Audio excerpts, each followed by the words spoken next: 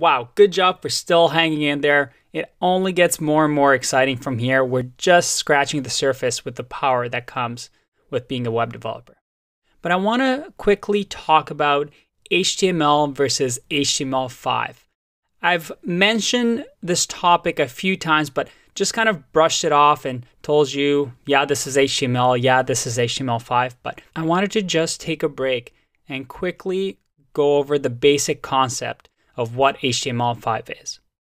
If you remember in our diagram, HTML, when it first got started in 1989 to 1991, it wasn't as elaborate. It didn't have as many features as it has now. We want to make sure that all these browsers play nicely and understand our HTML rules.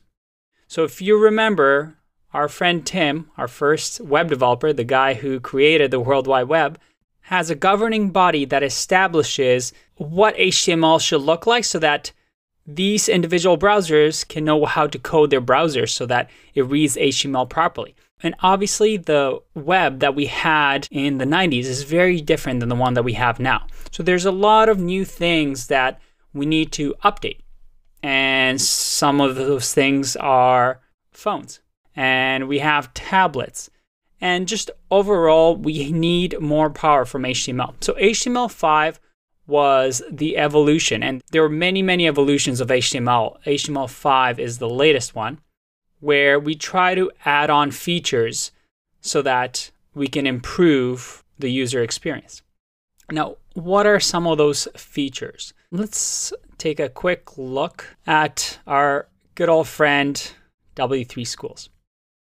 One of the things that HTML5 wants to do is we want to make sure that it doesn't affect any old website. If you remember our very first website from Tim, maybe in 1991, well, that still works to this day. We visited it in the previous videos. You can still visit websites from the 90s because we want to make sure that everything is backwards compatible. That's a fancy way of saying older versions are not obsolete. But we also want to tack on these features. And you can read on the website all the information of HTML5 and what it does and some of the things that it supports. And it does get a little technical, and we don't need to get into it too much. But the one thing that I want to emphasize that it introduced this idea of semantic elements. And what that means is they wanted to make websites more descriptive. Search engines such as Google go on websites and they use these things called crawlers to look through your website, these machines that are reading your HTML to understand what your website is, what the topic about it is, so that they could rank it in search engines.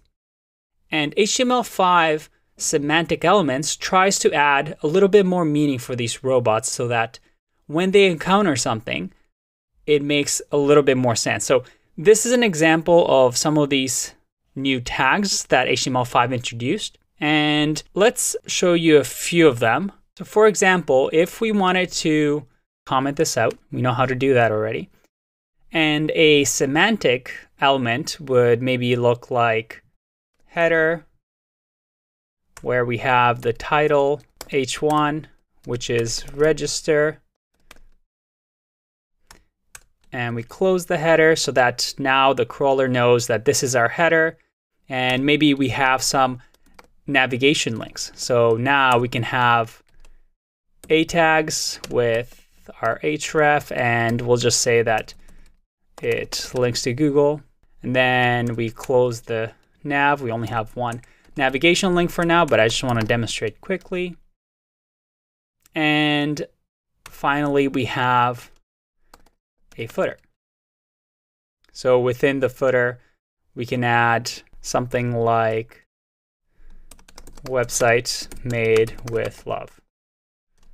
And you can see over here that this, even to a machine, if it understands what header means and nav means and footer means, gives a lot more meaning to the web page and it'll have a better idea of how the website is structured and where it should rank in their Google search results. You can take your time and read through some of these tags and I do recommend that you visit this website and go through some of the HTML intro. You'll even see that if we click on input types, so something that we visited already, and we scroll to some of the attributes, you'll see that there's some new HTML5. They have these little icon over here that have been introduced. So we're constantly expanding to make HTML better and better functionality. You can see here min, for example, we use that for password if you remember, specifies the minimum value for an input field. So if I set a min over here, then it makes sure that I enter the minimum amount of value. But again, you can take a look at it yourself. The issue with semantic web is that it's still fairly new. So you won't see as much of this. You will on some websites, but it's very hard to prove that it actually has good SEO performance because it's still fairly early. But just so you don't get surprised and you're aware of what's happening, it is something that you might encounter. But overall, HTML5 tries to improve the performance of the web because we're constantly evolving.